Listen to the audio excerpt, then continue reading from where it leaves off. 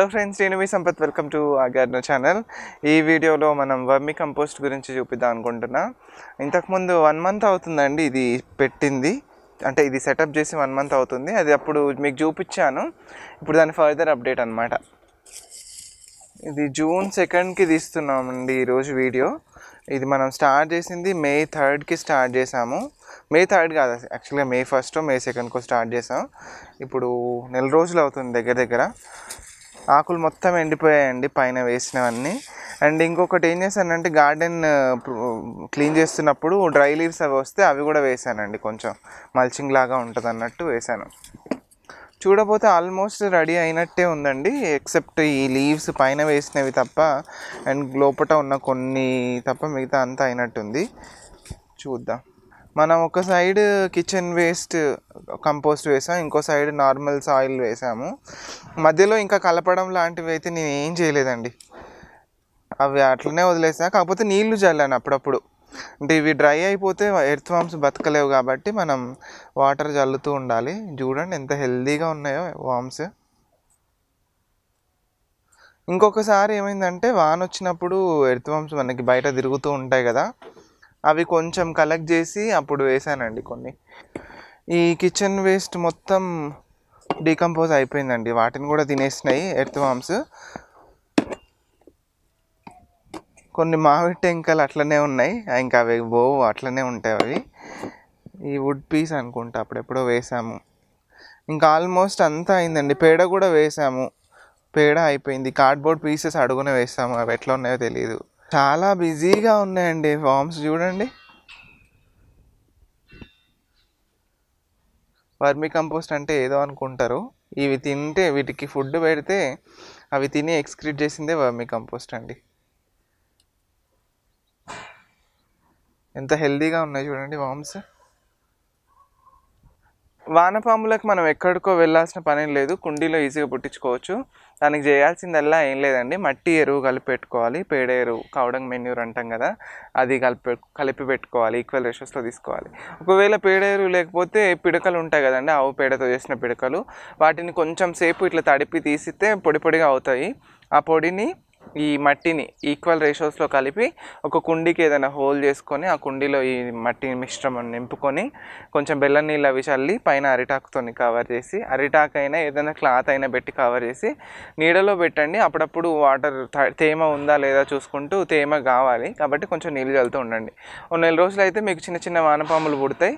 ఇంకా అవే పెద్ద పెద్దగా అయిపోతూ ఉంటాయి. మొత్తం రాజ్యం అంతా వాటిదే అయిపోద్దండి. ఎర్త్ వామ్స్ చేసుకునే వీడియో ఆల్రెడీ చేశాను నేను. ఆ వీడియో లింక్ నేను డిస్క్రిప్షన్లో ఇస్తాను దాంతోపాటు ఈ కంటైనర్లో మనం ఎట్లా మీ కంపోజ్ చేసుకోవడానికి ఎట్లా అరేంజ్ చేసుకున్నామో ఇది కూడా చేశాను. ఈ లింక్ కూడా డిస్క్రిప్షన్లో ఇస్తా చూడకపోతే మీరు చూడండి. యాక్చువల్గా ఇంకొన్ని రోజులు పోతే ఇంకా ఫైన్గా అవుతుండొచ్చు బట్ ఇంకా ఏమవుతుందంటే తడి లేకపోతే అవి తట్టుకోలేవు. మళ్ళీ కొంచెం అటు ఇటు అయినా కూడా ఏమైనా అయిపోతుందేమో అనిపిస్తుంది నాకు. చూడబోతే కొంతవరకు ఇగోండి ఇవన్నీ వామ్ క్యాస్టింగే ఇట్లా నల్లగా అయింది చూడండి డాట్స్ లాగా అవుతుంది. ఇది ఆల్మోస్ట్ అయ్యింది కాకపోతే కొంచెం తడవడం వల్ల ఇట్లా ముద్ద ముద్దగా ఉందండి. మరి తడపకపోతేనేమో వామ్స్కి ఇబ్బంది తడిపితేనేమో ఇది పేస్ట్ అయిపోతుంది అన్ని కాంప్లికేషన్స్ ఉంటాయి కదా. ఇప్పుడు మనం దీన్ని ఈజీగా ఫిల్టర్ అవుట్ చేసేద్దాం. వర్మీ కంపోస్ట్ వల్ల ఇంకొక అడ్వాంటేజ్ అండి మనకి లిక్విడ్ కూడా కిందికి యూజ్ అవుతుంది. మనం ఇది తేమగా ఉండాలని అప్పుడప్పుడు వాటర్ చల్లుతూ ఉంటాం కదండి. ఆ వాటర్ అంతా ఎక్సెస్ అయినవి కిందికి యూజ్ అవుతూ ఉంటాయి. ఇది ఎక్సలెంట్ లిక్విడ్ ఫర్టిలైజర్ అండి. దీన్ని వర్మి వాష్ అంటారు. దీంట్లో అక్కడక్కడ కొన్ని మ్యాగెట్స్ కనిపిస్తున్నాయి. ఎందుకంటే కిచెన్ వేస్ట్లో మ్యాగెట్స్ అవి వస్తూ ఉంటాయి కదా అవి కొంచెం ఉంటాయి అవి. అవి ఉన్న పెద్ద హార్మ్ఫుల్ ఏం కావు. అయినా ఇవన్నీ చచ్చిపోయినాయి. నథింగ్ టు వరీ మంచి ఫర్టిలైజర్ అండి. ఇది కూడా వాడుకుందాం మనం. ముందైతే వర్మి కంపోస్ట్ పని చూద్దాం. ఇప్పుడు ఇది కొంచెం కొంచెంగా తీసుకొని సేవ్ చేసే ప్లాన్ చేద్దాం.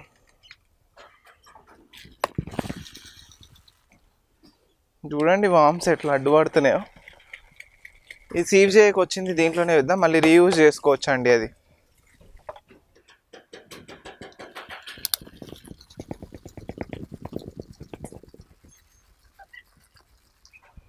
చూడండి.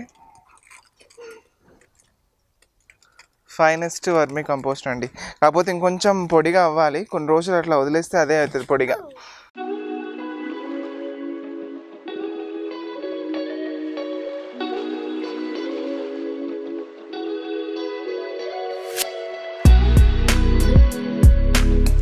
వామ్స్ ఎర్త్ వామ్స్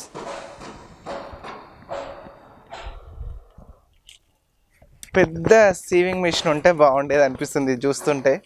ఇంత కొంచెం కొంచెం చేయాలంటే చాలా టైం పట్టుద్ది. సన్న అండి అంటే దాంట్లో పుడుతున్నాయి. దాని కౌంట్ పెంచుకుంటున్నాయి. అడుగున ఇంకెక్కువ ఉన్నాయండి వామ్స్. నేనేమో అనుకున్నా కానీ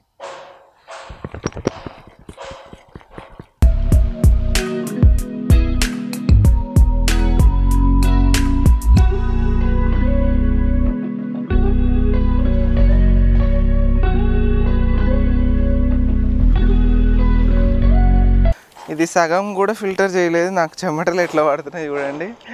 చాలా పెద్ద పనిలాగా అనిపిస్తుంది ఇది.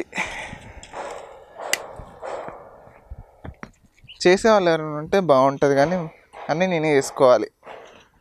మొత్తం ఫిల్టర్ చేసేటప్పటికి చాలా టైం పట్టింది. ఇదిగోండి ఎంత వచ్చిందో చూడండి వర్మీ కంపోస్ట్. Black gold. ఇంకా కూడా అక్కడక్కడ ఉన్నాయి వానపాములు. ఈ వర్మీ కంపోస్ట్ చేయడానికి మొత్తం ఎన్ని రోజులు టైం పట్టిందంటే కిచెన్ వేస్ట్ కంపోస్ట్ అది చేయడానికి ఒక ఫిఫ్టీన్ టు ట్వంటీ డేస్ అనుకోండి. దాని నుంచి ఇంకొక థర్టీ డేస్ అంటే ఫిఫ్టీ డేస్ టైం పట్టిందండి మనకి వర్మీ కంపోస్ట్ అవ్వడానికి. ఇంకా వామ్స్ కౌంట్ ఎక్కువ ఉంటే కంపోస్ట్ ఇంకా తొందరగా అవుతుంది వర్మీ కంపోస్ట్. అవి తొందరగా తిని తొందరగా చేస్తాయి కదా అట్లా. ఈ ఫిల్టర్ చేయగా మిగిలిన దాన్ని మళ్ళీ వాడతామండి. దాంట్లోనే ఎర్త్ వామ్స్ అవన్నీ ఉన్నాయి. ఇదిగోండి. వామ్స్ చూడండి. ఈ వామ్స్ అన్నీ మళ్ళీ అట్లనే రీయూజ్ అవుతాయి. ఈ మెటీరియల్ కూడా ఇంకా కూడా కంపోస్ట్ అవుతుంది ఇది. ఓ సగం పైన దీంట్లోనే ఉందండి.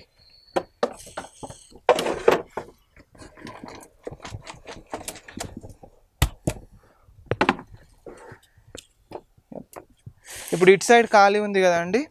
ఈ ఖాళీ ఉన్న సైడ్ మళ్ళీ కిచెన్ వేస్ట్ కంపోస్ట్ ఉంది. దాంతో నింపేసి ఆకులతో కవర్ చేస్తా.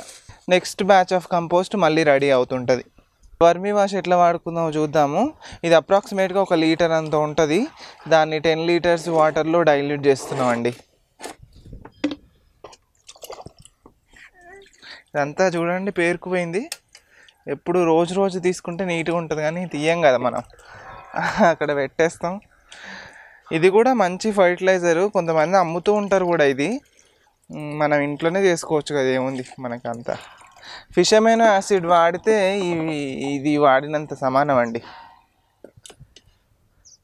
ఫిష్ అమైనో యాసిడ్లో ఉంటాయి కదా అమైనో యాసిడ్స్ ఈ వర్మీ వాష్లో కూడా అట్లాంటి పోషక విలువలే ఉంటాయి అన్నమాట ఇది డైల్యూట్ చేసి వాడాలి ఖచ్చితంగా.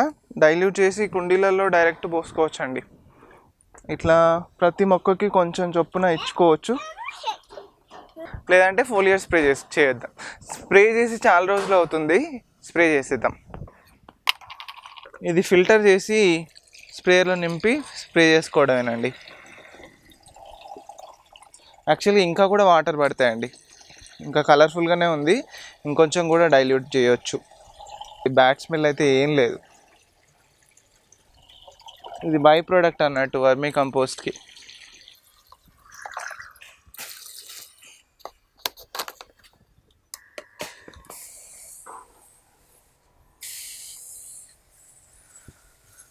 ఈ వర్మీ వాష్ని అన్ని ప్లాంట్స్కి ఇవ్వచ్చండి.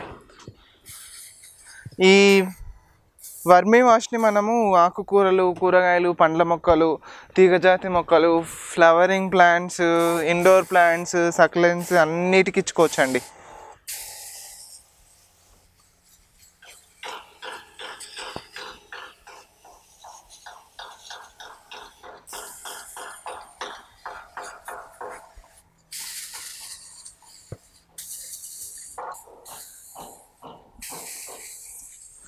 ఇక స్ప్రే చేయడం ఏముందండి మీకు చూపించడం ఎప్పుడు చూపిస్తూనే ఉంటాం కదా. అన్నిటికీ ఎట్లా స్ప్రే చేస్తామో ఇది కూడా అంతే. స్ప్రేయింగ్స్ ఏవైనా ఈవినింగ్ పూట చేయండి.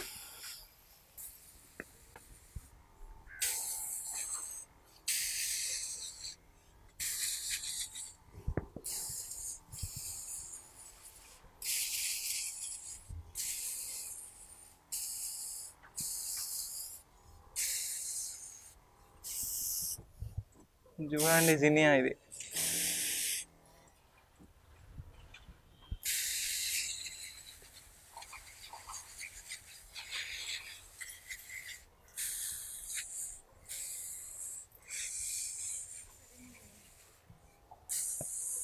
ఈ వర్మి వాష్లో కూడా మొక్కలకు కావాల్సిన అన్ని మైక్రో న్యూట్రియన్స్ అన్నీ ఉంటాయండి.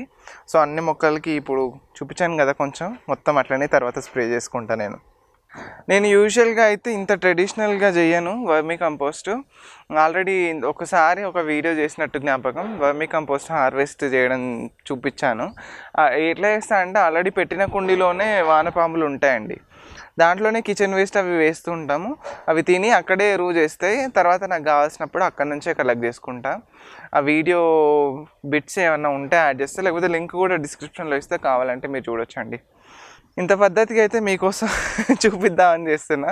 బట్ ఫైనల్గా సక్సెస్ అయ్యానండి. ఈ మెథడ్లో మంచిగా చేయగలుగుతున్నా. బాగుంది. ఈజీ చేసుకోవచ్చు. వీడియో అయితే ఇంతే అండి. మీకు నచ్చిందని అనుకుంటున్నా. వీడియో నచ్చితే లైక్ చేయండి షేర్ చేయండి. ఎలా అనిపించిందో కమెంట్లో చెప్పండి. ఛానల్కి సబ్స్క్రైబ్ కూడా చేయండి. మళ్ళీ ఇంకొక వీడియోలో కలుద్దామండి. బాయ్